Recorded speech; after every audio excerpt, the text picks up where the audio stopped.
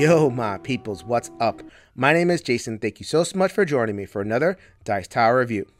Today, I'm taking a look at Commissioned the Call. This is a expansion for Commission, which was a one to six player cooperative game in which players are, are reenacting the spread of the early Christian church in the Mediterranean area in the first century AD. Uh, this one was a favorite of Sam Healey, who no longer produces content for the Dice Tower. Uh, but please go ahead and look at his video. I am very, very happy to continue coverage uh, for Commissioned. I'll show you all about how it plays, and then I'll tell you what I think. Without further ado, let's go to the videotape. All right, so before we get into the elements that the call added to commissioned, I'd like to go over very briefly what the base game is doing so that some of those elements make a little bit more sense. So, uh, in commissioned, every player will have a player board and a personal deck that is tuned to their character. Uh, over the course of the rounds, uh, each player is going to be playing uh, cards down on this player board and then making collective decisions about uh, how to implement those cards to do stuff on the board. So, most of the cards involve movement. So, then we are going to spread out uh, depending on how much movement we have and how many actions we can take throughout the land. Uh, so then uh, we are also going to be overcoming obstacles. Uh, the obstacles here are you know ways that the board tries to stop us from moving, and so much stuff from the trial deck. Uh, the church will grow on its own; it will add members, uh, and your goal, uh, as I said, is to bring Christianity to all the land, represented by each city represented or having a cube on it before the end of the game which, by the way, is the end of the trial deck, which is the main source of nastiness uh, in Commissioned. Commissioned, the base game had a deck building mechanism. So in the base game, all of this would be face down. So you would actually not see a market and you would deck build uh, to improve your personal deck, uh, kind of just, you know, draw and see what you get. In Commission, the call uh, they have uh, allowed players to see what your options are so you can deck build a little bit more effectively and tune your strategy uh, to what you can uh, to what you want to do a little bit more effectively with some face-up cards.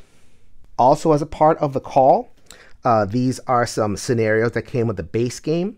You get two more scenarios that are a little bit more evolved. They add special tokens on the board and they change the geometry of the board somewhat. So it is the same basic game, be uh, going to be able to play differently.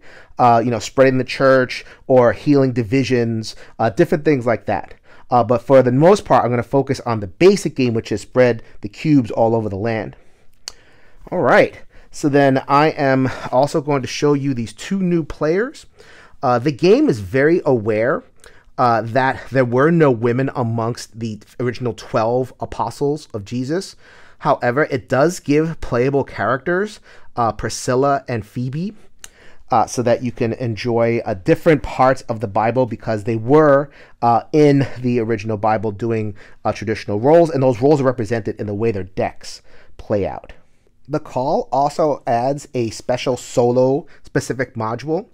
Uh, this is the Ethiopian eunuch encountered by Philip in the scriptures. Uh, who spread Judaism or Christianity, however you want to call that, uh, down to Ethiopia uh, alone, or by himself but never alone. Uh, so there are solo specific rules. Really, the solo play uh, changes in two specific ways. One, your starting deck is different. In regular commission multiplayer, these would be very specific decks, but in uh, solo mode, you actually can pick from uh, the different decks. So you have Phoebe, Andrew, Priscilla. You can kind of construct your initial deck to go along with your starting scriptures. So that's actually pretty uh, cool because it adds a lot of flexibility very early on. And also, what's going to happen is this elder staff is going to be key to certain regions depending on who is where and where your major pieces are, these missionary uh, pieces. So uh, the trial deck normally affects, uh, you know, the main character, which you're only the main, only main character, so you don't want to get trial to death. so there's going to be a mechanism that is going to allow the uh, trial deck to affect different people at different times. So let's say I have a missionary here in red, then I would put a, a, a a cube here, and from turn to turn, this would rotate depending on where the apostles are. Uh, so you have a little bit of uh, relief, at least for your main piece, uh, but the trials are going to be distributed everywhere, and you have to kind of respond to the board. One final wrinkle for the solo mode. Uh, this was a die that you rolled every turn in multiplayer that kind of uh, did different things on the board, very minor effects. Here, the uh, effects have been reworked to be a little bit more impactful. So you can get a mission stop or a growth stop, or good stuff can happen. it all depends on what you roll. So lots of little things to uh, beef, beef, up the solo uh, so that uh, you can play solo commissioned effectively. And so the last piece, the most mechanically impactful piece of Commission the Call is the Chains deck. So uh, you get a few of these, and they do basically uh, the same thing, but there's some wrinkles depending on the card you get, and they're nasty. if you play them, you lose up to four church members at the player's location. All of the all of the chains do that. Uh, different ones will add different stops. This one in particular will add a fellowship stop for each member you could not lose. So those are new. These kind of eat members. uh, as they come up. So, like, you know, you end the round and it's going to kind of take one member away. You also have your usual mission stops and growth stops. Uh, so they're bad. Um, if you don't play them uh, and you decide to take them into your buy phase, then they're worth minus four faith, which is the currency of the game, and you have to discard them into your deck. So it really is not advantageous to keep these until your buy phase. Uh, so then, though you can get rid of these in a number of different ways it, as you play them and you absorb the bad effect, then they'll go away uh, and go back into the chains deck. So it's kind of like you know absorb it once. Uh, so there's probably uh, given the choice, you, you're going to want to play it uh, depending on how your board is going, but playing it is, is okay. Uh, there are a number of cards that get rid of the chains as well. Uh, and the main way, though, in multiplayer that you're going to want to try to deal with these is through the restore deck. So when you uh, reach the buy phase, so you're going to have your action phase, and then at the end of that uh, set of rounds, you're going to go into your buy phase. If one player has the, a chain, then another player who does not have a chain can forego their buy phase, what the game calls the mature phase. But they can forego their buy phase and instead draw one card from the restore deck. So the restore deck is like a little story. So it's going to read a story and then give the play the person with the chain a choice. So now remember, the person without uh, without the chain with the chain uh, does not see this. It's only the person without the chain that's trying to heal the person that can see this. So as an example, I just asked your help on a critical church effort. You think to yourself, why are they asking me to do something else? You already have so much going on. Do you tell me you aren't available to help, or ask me which other thing you should do, uh, you should stop doing. So then it's almost like a scenario in the early church, and it's giving you the choice. Uh, and it's going to give you some effects depending on what you choose. Pretty important to note that the effects are not all the same. It's almost like there's a right answer and a wrong answer. So, uh, depending on how well you are immersed in the world, you'll be able to answer, uh, and then you would follow whatever the rewards are. The giver of the card will have a reward, and also the person receiving the blessing will get a reward, discard their chain, get extra cards, that kind of thing. So, uh, the trial deck will add changed uh, cards to your hands. Uh, all sorts of other stuff can add chain cards, and there's ways to get rid of it as well. In solo, there is no restore deck. You're relying on those cards, and also, uh, in this chart over here, if you roll an eight, you can get rid of a chain as well. So that was commission the call at the table. And how I like to evaluate expansions is to assess how the expansion adds to the base game and also how it fixes slash improves upon the base game experience. The additions are but welcome. Uh, they're not the draw of the expansion, but it's nice to have extra trial cards, extra player boards. Uh, the women disciples as player boards are, are, a welcome addition. So all that is good stuff. Uh, in terms of what you're really uh, getting out of the call are two uh, innovations that were asked for by folks who liked the base game, myself included. Uh, so the first one is a real solo mode with one board and one hand of cards uh, worked so that it kind of works within the entire geometry of the board. So it was doable at two, but it got a little bit cumbersome. Uh, with the one, excellent. I have nothing bad to say. Uh, the game is snappy. You know, I don't have to, you know, do build two decks. I have the one deck, and the one deck is craftable, so I can kind of borrow cards from, you know, different decks in case I want to have a different experience. That is super uh, well done. Um, my one tiny niggle about the solo is that it's, it could be uh, there's a lot of steps because you have to move the elder staff and you have to roll the die and you have to pull a chalk card. Uh, a fair amount happens in between turns. Uh, it's not like um, oppressive and terrible. Once you're into it, you'll do it. But I found myself forgetting every once in a while. So uh, some folks like a really clean bot for a solo mode, myself included. Not as clean as I would want, um, but the it having the one board unlock the core experience and i've played multiple games of the solo excellent, excellent job. Thank you very much for including that uh, and giving love to the solo fans. so then, then you have what I think is the uh, most impactful mechanical draw of the call, which is the chain deck. So many deck builders include ways of adding negative cards uh, into your deck. And you think of Dominion, where it's like the curse cards. For the most part, they just sit there and gunk up your hand. And that's the most effective thing they do. You have to cull them, you have to deal with them, but really they're just there as like ballast in your hand. They don't uh, really do anything uh, impactful or active. These, they're so active and they impact every single turn just immediately because they force that choice. Are you going to play it now?